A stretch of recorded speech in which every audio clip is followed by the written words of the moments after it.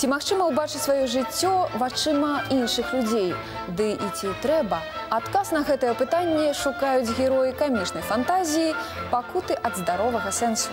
Сама назва працы рэжысёра-пастаноўшчыка Александра Гарцуева накіроўвае культурную памяць гледача ў палёт. Перад ёю праходзіць цэлая плеяда вобразаў, пачынаючы ад грыбаедаўскага горад розуму, вобразаў думаючых і чулых, чужых шаблоннай рэальнасці і таму асабліва далікатных і хваравіта жывых. Вось толькі ў п'есе Сергея Рубе гэтая хваравітасць неадпаведнасці размаляваная ў колеры камедыі. Драматург і рэжысёр прымушаюць публіку ад душы смяяцца і тым самым глыбей усведамляць велізарную прорву паміж жыццём і жыццём праўдзівым.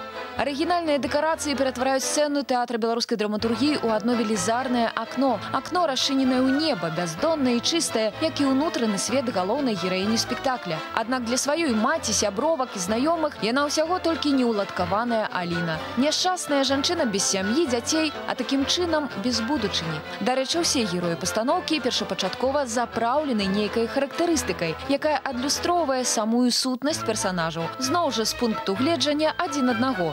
Буфанада, спектакль знакаў, спектакль лялек, кукол, як кажуць. Э, Таму кожнаму герою надаецца адназначна нейкі прыметнік.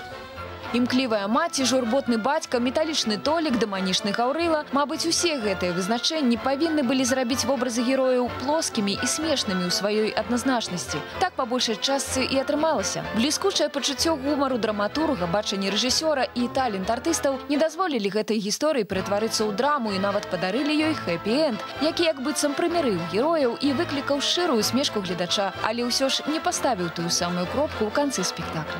Тонкая дасціпнасць аўтара, якая насычала ўсё сцэнічнае дзеянне, прымушала гледача не толькі смяяцца. Яна падаходжвае да асэнсавання ўласнага жыцця. Адпачывайце культурна.